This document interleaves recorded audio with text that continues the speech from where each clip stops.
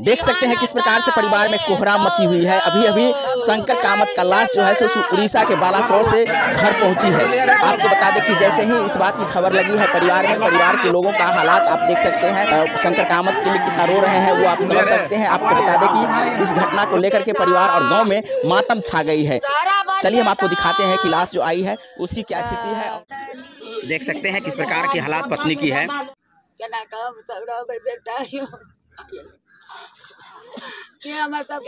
के यौ बेटा?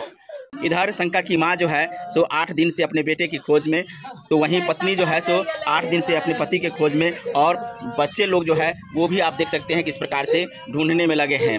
जहाँ शंकर कामत अपनी माँ की अर्थी उठाता आज सामने में बेटे की अर्थी को उठते हुए देखे हैं तो आप समझ सकते हैं किस प्रकार की पहाड़ जो है दुखों का पहाड़ जो है सो टूटा है।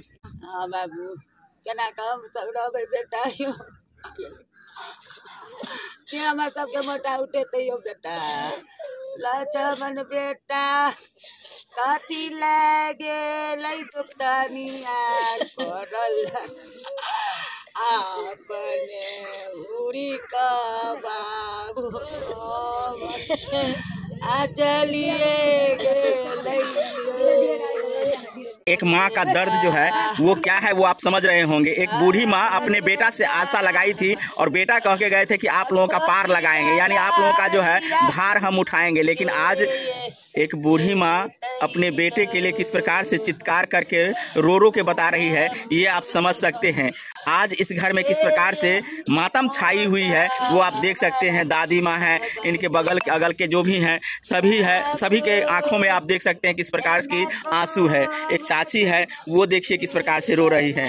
क्या कहना चाहेगी चाची?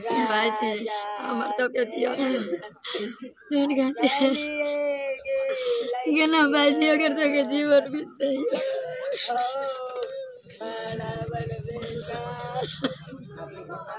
अपने दियारिए छै खास तो केना बनते। नहीं बने छै अपने खास दियारिए तो केना हेते उमर जाओ तो हमर दियार। दुनू तो अपने खानदाने के छै तो केना हेते। घर में दू दू लाश हाँ। एकटा जाओ तो एकटा दियार। सुमित का पहले ही दाह संस्कार हुआ था। आज सुमित शंकर का दाह संस्कार होने के लिए डेड बॉडी आया है और उनका दाह संस्कार के लिए बॉडी को शमशान घाट ले जाया गया है। अभी हम मधुबनी जिला के राजनगर प्रखंड के बेलवार गाँव में पहुँचे हैं और बेलवार गाँव में लगातार सात आठ दिन से शंकर और सुमित के लिए परिवार के लोग इस इस सदमे को सहन नहीं कर पा रहे थे। सब दिया दे छियै खाना पीना क्यों नहीं बनै छै? सब छै।